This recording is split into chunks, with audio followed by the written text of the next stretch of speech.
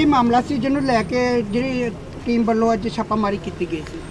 ਇਹ Shri Harpreet Singh Sidhu, DGP, STF Punjab ji ਵੱਲੋਂ ਜਿਹੜੀ ਸਪੈਸ਼ਲ ਮੁਹਿੰਮ ਨਸ਼ਿਆਂ ਦੇ ਖਿਲਾਫ ਚਲਾਈ ਗਈ ਆ ਉਹਦੇ ਸਬੰਧ ਦੇ ਵਿੱਚ ਸਾਡੇ ਪੁਲਿਸ ਪਾਰਟੀ ਜਿਹਨੂੰ ਜਿਨ੍ਹਾਂ ਦੇ ਇੰਚਾਰਜ ਏਐਸਆਈ ਲਤੇਸ਼ ਕੁਮਾਰ ਸਮੇਤ ਪੁਲਿਸ ਪਾਰਟੀ ਦੇ, ਆ ਫੁਹਾਰਾ ਚੌਂਕ ਤੋਂ ਥੋੜਾ ਅੱਗੇ ਇਹ ਨਾਕਾ ਲਾਇਆ ਸੀਗਾ ਤੇ ਦੋ ਜਾਣੇ, ਦੋ ਨੌਜਵਾਨ ਸਕੂਟਰੀ ਤੇ ਆਏ, ਜਿਨ੍ਹਾਂ ਦਾ ਨਾਮ ਲਖਵਿੰਦਰ ਸਿੰਘ ਸਨ of ਕੁਲਵੰਤ ਸਿੰਘ ਦੂਸਰਾ ਸੁਰਜੀਤ ਸਿੰਘ ਸਾਨੂੰ ਪਰਸਨ ਸਿੰਘ ਇੱਕ ਮਹਿਤਾਬਗੜ੍ਹ ਮਹੱਲੇ ਦਾ ਰਹਿਣ ਵਾਲਾ ਇੱਕ ਰਾਮਦੇਵ ਮਹੱਲੇ ਦਾ ਰਹਿਣ ਵਾਲਾ ਚੌਂਕ ਦਾ।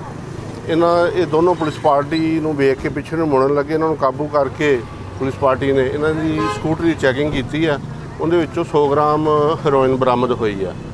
ਦੋਸ਼ ਸਰ ਕਦੋਂ ਦੀ ਇਨਫੋਰਮੇਸ਼ਨ ਸੀਗੀ ਤੁਹਾਡੇ ਕੋਲ ਆ ਰਹੀ ਸੀ? ਇਹ ਤਾਂ ਇਨਫੋਰਮੇਸ਼ਨ ਚੱਲਦੀਆਂ ਰਹਿੰਦੀਆਂ ਸਵੇਰ ਦੀ ਹੋਣੀ ਕੱਲ ਦੀ ਹੋਣੀ ਹੈ ਪੁਲਿਸ ਪਾਰਟੀ ਜਿਹੜੀ ਆਈ ਆ।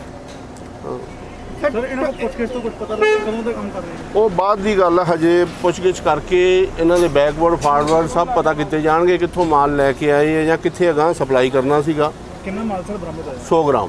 ਇਹਨਾਂ ਨੇ ਪਹਿਲਾਂ ਕੋਈ ਵੇਚਿਆ ਵਿੱਚ ਵੀ ਤਾਂ ਹੋਰ ਉਹ ਵੀ ਸਾਰਾ ਉਹ ਤਾਂ ਪੁ- ਇਹ ਤਾਂ ਮਜੀਦ ਪੁੱਛਗਿੱਛ ਕਰਾਂਗੇ ਨਾ ਬਾਅਦ ਚ ਹੁਣ ਜਾ ਕੇ। ਸਰ ਕੋਈ ਪੈਸੇ ਵੀ ਮਿਲੇ ਇਹਨਾਂ ਕੋਲ? ਅਹ, ਵੈਪਨ ਵਗੈਰਾ? ਨਹੀਂ ਨਹੀਂ ਵੈਪਨ ਕੋਈ ਨਹੀਂ। ਸਰ ਐਫ ਆਈ ਆਰ ਦਰਜ ਹੋ ਗਈ ਹੈ ਜੀ ਇਹਨਾਂ ਦੇ? ਐਫ ਆਈ ਆਰ ਦਰਜ ਹੋ ਗਈ ਹੈ ਜੀ। ਸਰ ਇੱਕ ਕਿੰਨੇ ਦਾ ਜਿਹੜੇ ਫੜੀ ਗਈ ਹੈ 100 ਗ੍ਰਾਮ ਉਹ ਕਿੰਨੇ ਦੀ ਬਣਦੀ ਇਹ ਤਾਂ ਹੁਣ ਇਹ ਦੱਸਣਗੇ ਜੀ ਕਿੰਨੇ ਦੀ ਲੈ ਕੇ ਆਏ ਤੇ ਗਾਂ ਕਿੰਨੇ ਦੀ ਵੇਚਣੀ ਸੀਗੀ।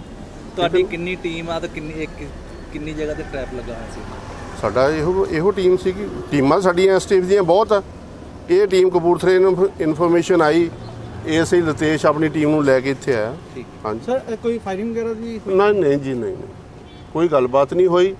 ਸਿਰਫ ਇਹਨਾਂ ਕੋਲ ਹੈਰੋਇਨ ਬਰਾਮਦ ਹੋਈ ਹੈ। ਵੈਸੇ ਪਹਿਲੇ ਸੁਣ ਦੇ ਵਿੱਚ ਇਹੀ ਆਇਆ ਜੀ ਫਾਇਰਿੰਗ ਹੋਈ ਹੈ ਇਸੇ ਕਰਕੇ ਹੀ ਇੱਥੇ ਇਕੱਠੇ ਹੋਏ ਨੇ। ਬਾਅਦ ਸਾਨੂੰ ਪਤਾ ਲੱਗਾ ਵੀ ਹੀਰੋਇਨ ਦਾ ਮਾਮਲਾ ਵਾ। ਨਹੀਂ ਨਹੀਂ ਨਹੀਂ ਇਦਾਂ ਦੀ ਕੋਈ ਗੱਲ ਨਹੀਂ। ਸਰ ਕਿੰਨੇ ਜਾਣੇ ਸੀ ਕੋਲ ਦੋ ਜਾਣੇ। ਚਲੋ ਬਸ ਠੀਕ ਹੈ।